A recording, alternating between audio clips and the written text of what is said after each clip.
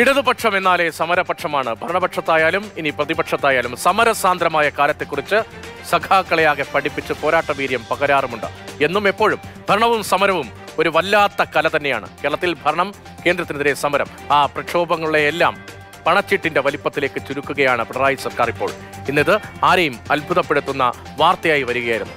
ഒന്നുറക്കെ മുദ്രാവാക്യം വിളിക്കാൻ മുൻകൂർ പണമടച്ച് അനുമതി വാങ്ങണം. ഇതെന്ത് ജനാധിപത്യം എന്ന ചോദ്യം സ്വാഭാവികമാണ് ഉയരുക നിയമം പാലിക്കാനുള്ളതല്ലേ അത് ലംഘിക്കാമോ എന്ന് പണ്ട് ഗാന്ധിജിയോട് ഒരാൾ ചോദിച്ചിട്ടുണ്ട്.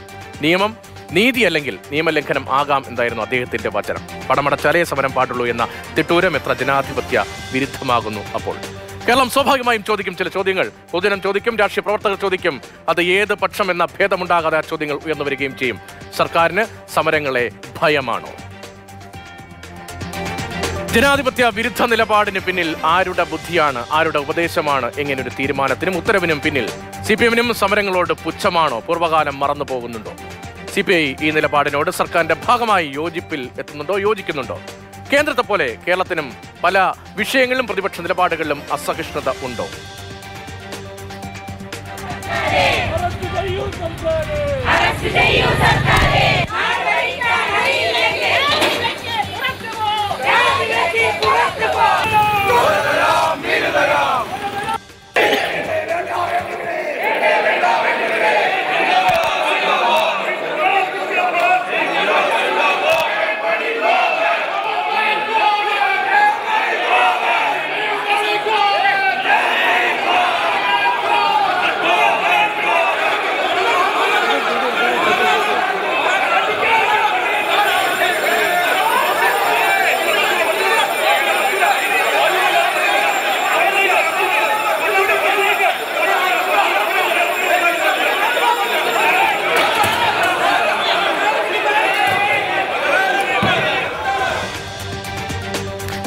നമ്മൾ കണ്ടില്ലേ നിയമസഭയിലെ ഈ സമരങ്ങൾക്കും മുൻകൂർ അനുമതി ഏർപ്പെടുത്തുമോ സർക്കാരെ? അന്നത്തെ ബജറ്റ് തടയൽ സമരം ഇന്നെങ്കിൽ പണമടച്ച് രശീത് കൈപ്പറ്റേണ്ടി വരുമോ?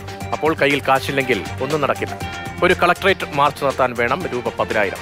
സബ് ഡിവിഷൻ പരിധിയിൽ നാലായിരം. പോലീസ് സ്റ്റേഷൻ പരിധിയിലോ? പ്രകടനത്തിന് രണ്ടായിരം അങ്ങനെയാണ് ഫീസ്. ഇത്രയും കാലം ചെയ്ത സമരങ്ങളെയൊക്കെയും സർക്കാരുകളുടെ ഔദാര്യമായിരുന്നു. ശരിക്കും ഫ്രീ എന്ന തോന്നൽ ഈ തീരുമാനം കാണുമ്പോൾ തോന്നും. ആ സൗജന്യം സർക്കാർ നിർത്തലാക്കിയിരിക്കുകയാണ്. സർക്കാരിന്റെ സൗജന്യത്തിൽ ആരും ഇനി സർക്കാരിനെതിരെ സമരം ചെയ്യാൻ തുനിയേണ്ടതേയില്ല.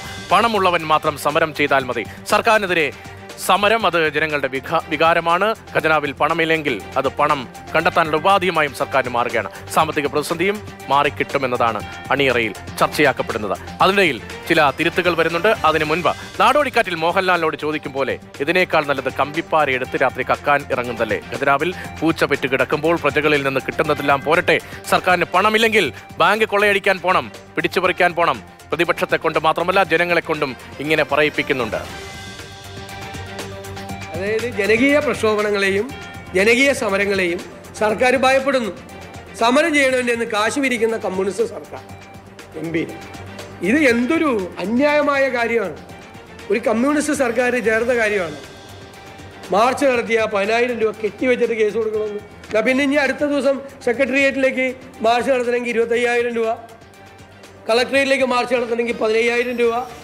സെക്രട്ടേറിയറ്റിന്റെ മുമ്പിൽ ധർണ നടത്തണമെങ്കിൽ അയ്യായിരം രൂപ. കാശില്ലെങ്കിൽ വേറെ വല്ല പണിക്കും പോന്നേ.